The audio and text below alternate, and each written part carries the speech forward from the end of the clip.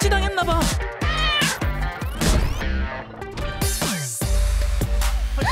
저기 샤샤 어딨지?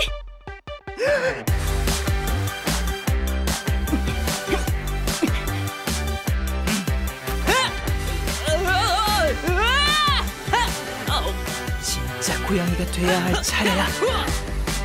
이요?